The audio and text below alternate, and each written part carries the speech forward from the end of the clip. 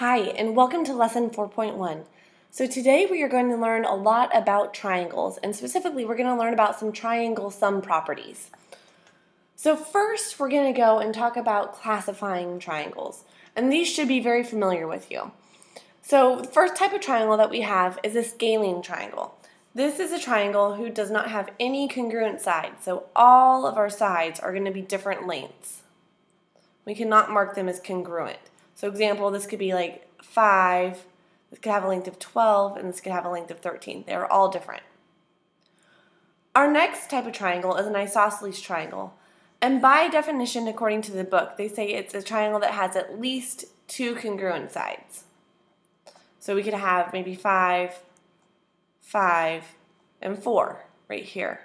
So it's at least two congruent sides. However, we're most familiar with just saying that an isosceles triangle has two congruent sides. Our next type of triangle, which is an equilateral triangle, has all three sides being congruent. They are all the same exact length. Okay, let's move on to the next slide. Now we're going to classify triangles by their angles. So an acute triangle is just that. It's a triangle that has three acute angles. All three angles are going to be less than 90 degrees. A right triangle is a triangle that has exactly one right angle. And we'll mark that with the box, showing that these two sides are perpendicular to each other. An obtuse triangle is exactly one obtuse angle, so greater than 90 degrees.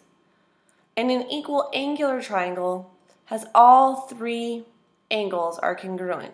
And in fact, if a triangle is equiangular, it is also equilateral. All three sides are also congruent. Okay, so that's how we can classify triangles by their sides and by their angles. Now we're going to learn how we can put this into use and how we're going to figure out what type of triangle it is right here. So we have triangle ABC drawn on our diagram. We want to figure out what type of triangle it is and then we're going to, by its side, so is it scalene, is it equilateral, or is it isosceles? And then we're going to figure out is it in fact a right triangle. So the way that we do this is we need to find the length of each segment. So we're going to use our distance formula. So we're going to first go with this side right here. So we have our distance equals the square root of 0 minus a negative 5 squared plus 2 minus 4 squared. So this gives us the square root of 25 plus 4, which is the square root of 29. Okay, our next side, we've got our length equals the square root of 0 minus a negative 2 plus 2 minus a negative 3.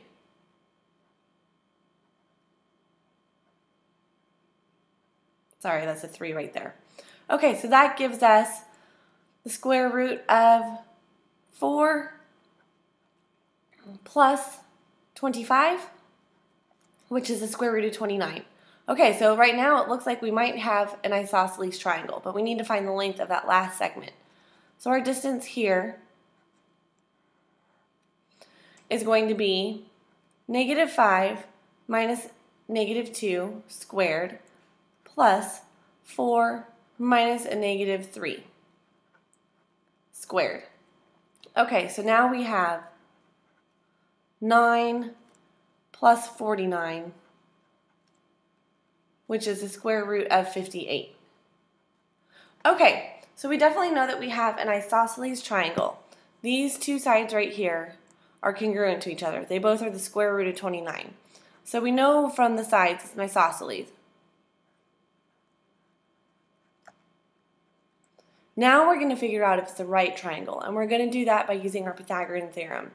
So we have the square root of 29 squared plus the square root of 29 squared. Does that equal the square root of 58 squared? And in fact, we get 29 plus 29, and that does equal 58. So yes, it's an isosceles right triangle. Okay, let's move on to the next slide here. So now we have a couple of theorems. And these theorems we're going to be using throughout the year. So our first theorem is the triangle sum theorem, which says that the sum of the measures of the interior angles of a triangle is 180 degrees. So no matter what type of triangle we have, isosceles, scalene, right triangle, acute triangle, obtuse triangle, the three angles will always add up to 180 degrees. Every single triangle, the sum of the interior angles is 180. Now this next one is probably a new theorem for you, exterior angle theorem. This states that the measure of an exterior angle of a triangle is equal to the sum of the measures of the two non-adjacent interior angles. Okay, that's a lot of words right there. First of all, let's figure out what we've got. So we have a triangle. There's our triangle.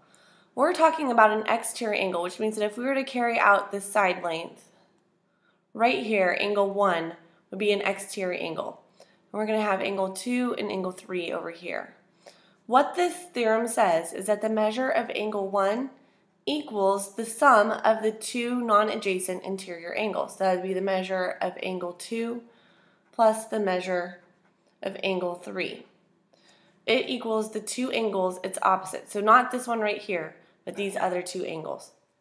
And that is true for any exterior angle. Let's say we carried out this line right here and put a 4 right here and a 5.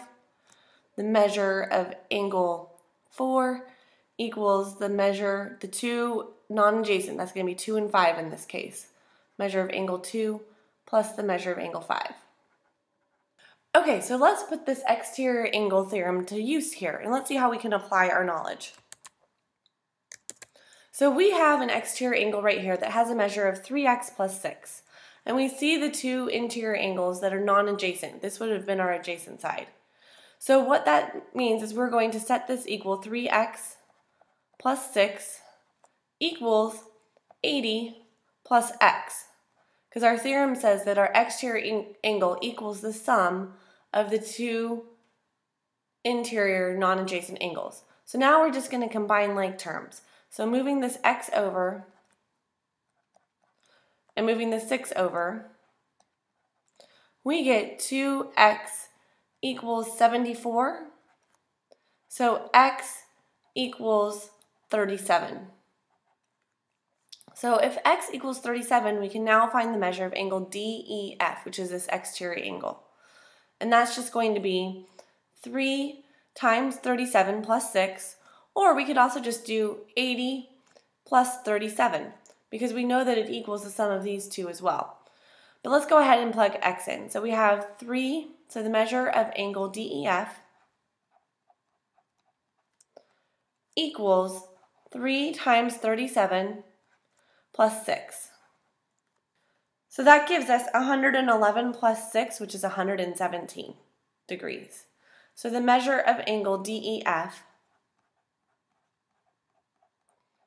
is 117 degrees. And that's how one way that you can use this theorem. Okay, now we're going to move on to a corollary. Corollary is a new term for you. But a corollary is a statement that can be proved easily using a theorem. It's kind of like a mini theorem. So we have a corollary to the triangle sum theorem. And remember our triangle sum theorem said that all of the interior angles of a triangle will add up to 180. So the acute angles of a right triangle are complementary. And let's take a look at that. So we have a right triangle we know that one of those angles is 90 degrees. So angle 1 and angle 2 are our two other angles. So for our triangle, we have the measure of angle 1 plus the measure of angle 2 plus 90 degrees because it's a right triangle equals 180.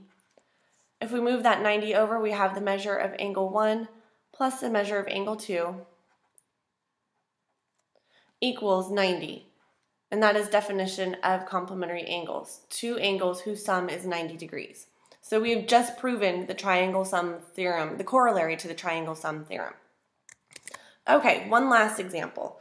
So we have the following kind of triangle within a triangle, and we need to find the values of x and y. we can see that we've got a right triangle right here. But we need to find the values of x and y. We don't know what those are, but we have two measures of this other triangle right here. So we have a third or a second triangle right there.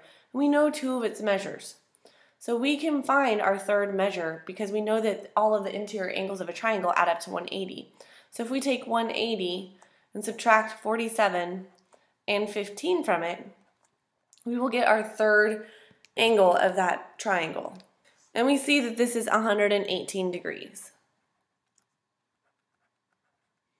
Okay, so now we can use our exterior angle theorem to solve for y. We already have one of the angles that's non-adjacent to 118 because 118 now, this is exterior to this triangle. So we have 118 equals 90 plus y. Therefore, y equals 28 degrees.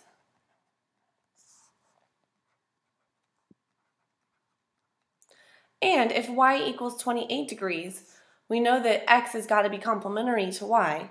So we take 90 minus 28 to get x, and x equals 62 degrees.